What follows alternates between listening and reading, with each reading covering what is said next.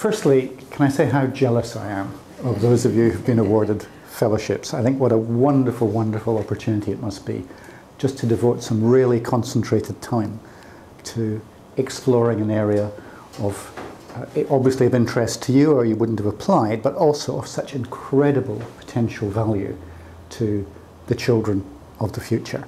And I've looked at the various things that you're all planning to do, and I am just waiting with bated breath to read the results and see what we can learn from it. So uh, have fun and know that there's going to be an, an, extremely eager audience waiting back here to find out what, uh, what you're discovering.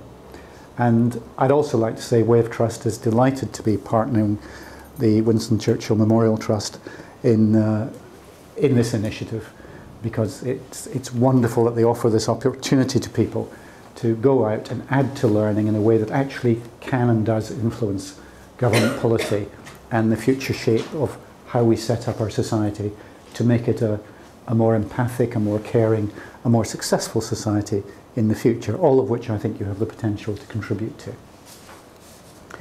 Now, what I'd like you to do is I want you each to think of a baby. And then just listen to me.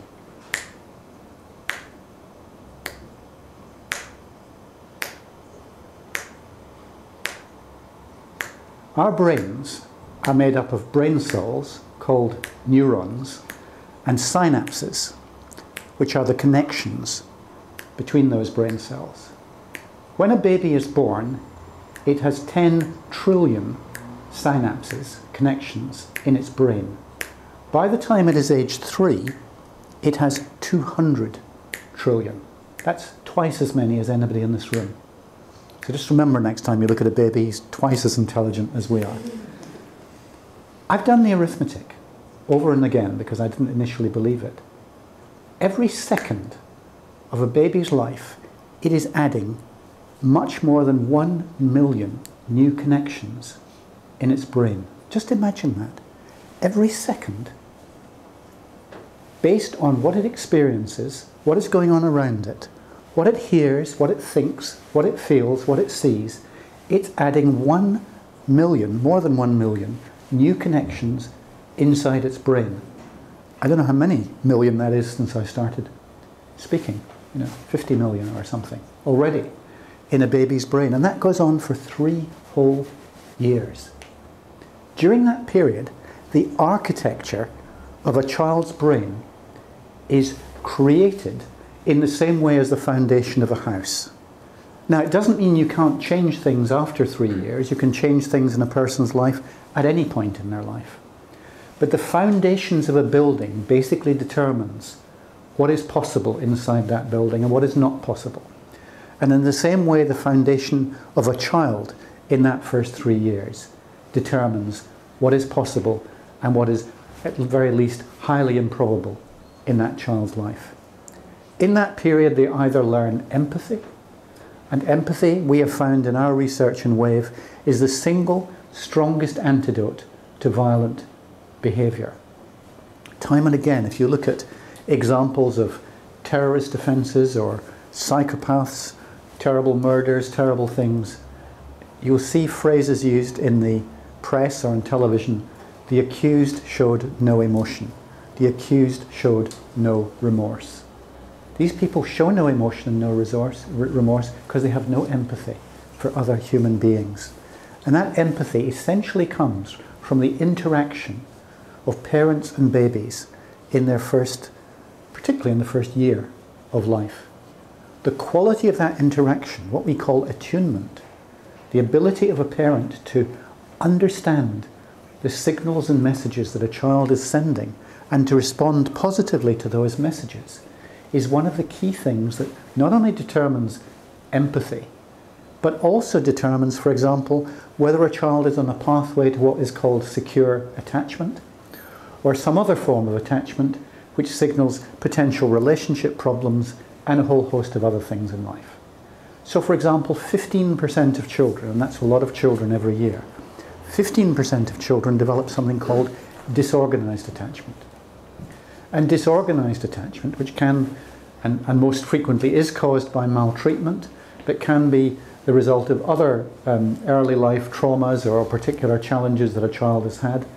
Uh, disorganized attachment is on a pathway for children to relationship problems throughout their life, um, entry into care, poor mental health, poor physical health, high levels of aggression, very high levels of entry into child and adolescent mental health services, and entry into the criminal justice system. These are all extremely expensive outcomes. And it's not a surprise that the Children um, and Young People's Health and Outcomes Forum, uh, set up by the Department for Health and the Department for Education, estimated that money invested in the early years produces a return of 6 to 8% from investment. Now, I don't know if any of you are getting more than 6 to 8% from your bank, but if you are, could you please have a word with me afterwards? Because I'm certainly not. That's a very, very good return. Government should be investing much, much more in the early years. And one of the things we in WAVE do is we work very hard to try and persuade government to put money into the right kind of things. But one of the things that helps us in that is evidence. And you can be part of that evidence with the findings that you come up with.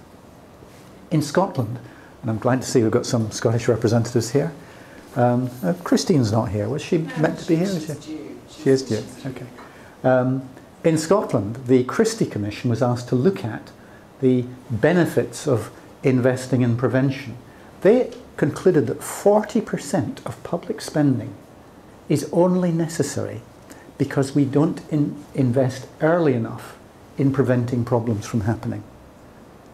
That's a, that's a stupendous amount of money. It's billions and billions, tens of billions of pounds a year we're spending in this country cleaning up messes that didn't need to be made in the first place because we didn't follow a strategy of prevention. So intervening with prevention, intervening to stop harm to children, intervening to get children off to the best possible start in life, makes total sense from a common sense point of view. We all know a stitch in time saves nine and an ounce of prevention saves a pound of cure. We didn't need decades of research to tell us that. Our grandparents told us that. The economic case is there. The neurobiological case is there. Um, and we're gradually getting places with politicians. We're gradually persuading them to do, not enough, not in a large enough scale, but we're gradually getting traction with them. So you can contribute to a really important shift. Our most recent piece of work has been a report called Building Great Britons, which Robin was one of the people who helped to, to write that. Um, and the Building Great Britons report, which was a, a sort of joint venture of the All Party Parliamentary Group on Conception to Age 2, PIP UK and Wave Trust, recommends that government should treat the first 1001 days of a child's life as important as the defence of the realm. No government would think of allowing this country to be at risk of being invaded by another country and not being able to defend itself. Yet the whole shape of our future society is created by that early foundation of the children yet to be born. And we are not giving that the priority that we should be giving it. It's part of WAVE's mission to make sure that that is what happens. And I am privileged to be working with all of you in this room to help bring that about. Thank you.